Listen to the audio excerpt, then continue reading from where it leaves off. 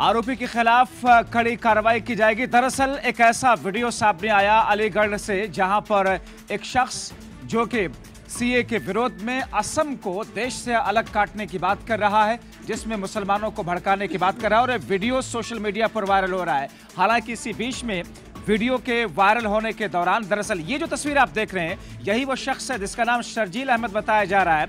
और इसने ऐसा बयान दिया है जिसे विवादित नहीं कहा जा सकता है, बल्कि जिसे खतरनाक बयान कहा जा सकता है और ऐसे बयान पर जिस किसी की भी तरफ़ से आए, उसके ऊपर सख्त कार्रवाई भी होनी चाहिए। पुलिस फ़िलहाल कार्रवाई करने के लिए आगे बढ़ रही है, मगर भारतीय जनता पार्टी ने आज इस वीडियो को ट्वीट करते हुए कहा कि जिस तरीके से देश को तोड़ने की बात की जा रही है, क्या ये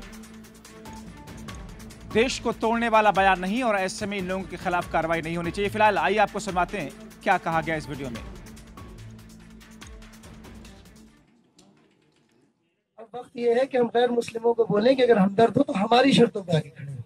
अगर हमारी शर्तों पर नहीं खड़े हो सकते तो वो हमदर्द नहीं है। वो कन्हैया वाली रैली देख लीजिए। पाँच लाख लोग थे उसमें रैलिया में। पाँच लाख लोग हमारे पास हो ऑर्गेनाइज तो हम हिंदुस्तान और नॉर्थ ईस्ट को परमानेंटली कट कर सकते हैं। पर हम परमानेंटली नहीं तो कम से कम एक आध महीने के लिए तो कट कर ही सकते हैं।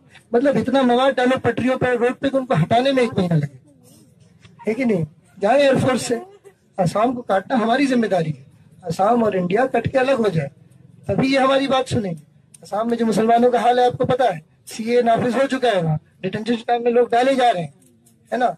और वहाँ तो खैर कतलेआम चल रहे हैं छह आठ महीने पता चलेगा, सारे बंगालियों को मार दिया गया, हिंदू हो या मुसलमान। ठीक है? तो अगर हमें असम की मदद करनी है तो हमें असम का रास्ता बंद करना होगा फौज के लिए। समझ रहे हैं? फौज के लिए और जितने भी, जो भी यहाँ से सप्लाई जा रहा है, बंद करो। और वो बंद कर सकते हैं, क्योंकि चिकन नेक्स मुसलमानों का है वो जो वो जो इलाका है मुस्लिम अक्सरियत है। कन्हैया जैसे नेता क्या करेंगे?